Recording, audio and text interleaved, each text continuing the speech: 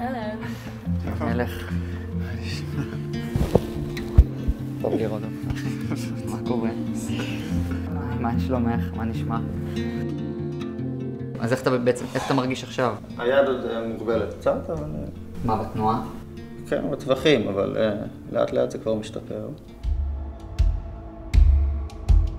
יש אזעקות, הבנו שהמסיבה לא תמשיך, אבל בסדר, הביתה. באיזשהו שלב ראינו אנשים מסתובבים שאמרו שיש מחבלים בכיוון הזה. אמרנו, טוב, ניסע דרומה, דרומה גם היה ריק, כי אף אחד לא נסע דרומה. הסתערו עלינו מחבלים, היה שם כזה שדה בצד שמאל של הכביש, יצאו ממנו מחבלים, רוססו אותם.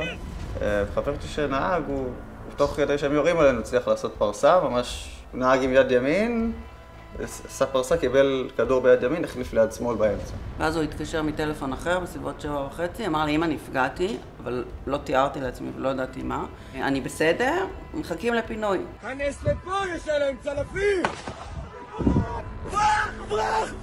אז התחלנו לברוח, ואז חבר שהתחבאנו בשיחים, ואחרי כמה שעות בשיחים, מצאתי איזשהו, ראיתי טנק, שוטרים מקיפים אותו, וחובש, והרבה פצועים שוכבים ליד. אמרו לי, עלה לרכב הזה, הוא ייקח אותך לקיבוץ רעים, יש שם אמבולנס, ישר כשנכנסים לרעים מטח מטורף של ירי. הצליח איכשהו להתחמק מזה בסוף, התחבאנו שם באזור החקלאי של היישוב, מאחורי איזשהו קיר. שכבנו שם שעתיים, עד שבמקרה ראינו מהכניסה האחורית של היישוב, שני רכבים אה, של הצבא נכנסים. אמר להם, תעצרו מה שאתם עושים, אתם חייבים לקחת פה בחור לטיפול, הוא חייב פינוי עכשיו. מי פצוע? מי פצוע? יעלה לאוטו! הגיע רכב בחריקת בלמים ואתה היית בתוכו. ובאמת איך שהסתכלנו עליך בתוך הרכב ראינו לפי ההסתכלות שאנחנו כבר יודעים אה, לאבחן את זה שאיבדת המון דם. היית חיוור מאוד, מזיע, אה, קצת חלש ושקוע, באמת שרואים שאתה מדמם עוד מהיד.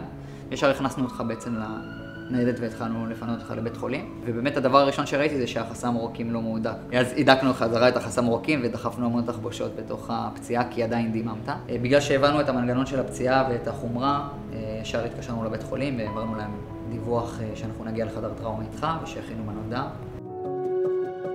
התקשרתי אליו, הוא לא עונה, כתבת לו יואב, הוא לא עונה. נסענו דרומה.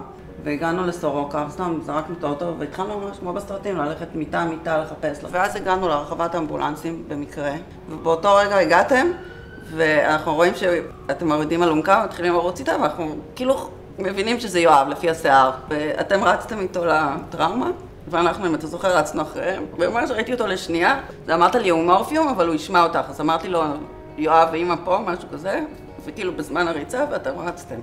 וכשיצאת, את אמרת לי, הוא יהיה בסדר, הוא פצוע בשתי ידיים, אבל הוא יהיה בסדר. מה שבאופן אישי מחזיק אותי זה זה שאני יודעת שהייתי חשובה, שהייתי משמעותית. אני מרגישה שהצלתי חיים וזו תחושה שמאפשרת לי להמשיך הלאה בטוב. אה, בטח לשמוע אותך וגם לראות אה, אותך עכשיו. אני חשבתי על זה כל הדרך, זה ממש מרגש בשבילי להיות פה היום, כי כיף לראות שהרבה מהחברים שלך ועוד המון אנשים יצאו מזה בחיים. עשיתם באמת... הצלתם חיים.